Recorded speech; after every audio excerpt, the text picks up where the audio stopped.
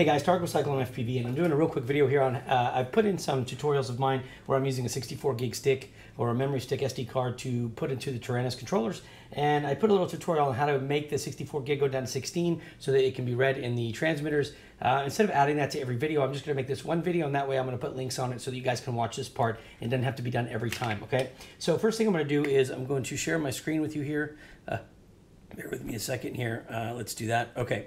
So from here, what we're going to do is we're actually going to go uh, right click. We're going to right click on the Windows icon and left click on run. And we're going to type the word control. Once you type in control, hit OK. All right. And then from there, I'm going to open this screen big so we can see what we're doing here.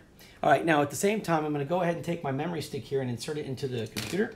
All right. Now I'm going to do that through a USB card reader, but whatever ways you have to read your memory stick, just go ahead and get it ready by putting it into the computer. And you'll see, you'll hear the computer make a noise here in just a second. All right.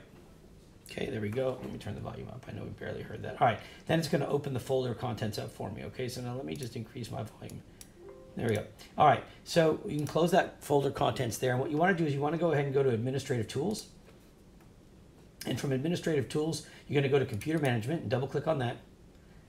And when that opens up, you want to go to Disk Management, this thing right here. All right.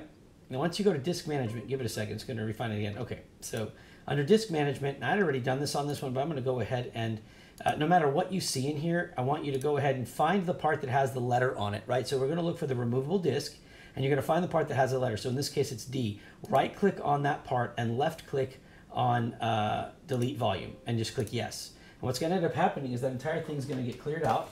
And now you're going to have one big partition here, or not a partition, uh, with a black line on it, or a black cover on it. You see, when it's done properly, you have blue, and when it's not, you have black. So you want to go ahead now and right click on anywhere in this box right here that says unallocated, and then go ahead and click left click on simple volume, new simple volume, and then you're going to get this wizard that pops up. And if the wizard delays, you can click it again. Usually, sometimes it takes me twice to do it, but in either case, here's the simple volume wizard, click next, and then right here is your ch size changes, type 16,000. Uh, there we go, just like that, 16000, and click next.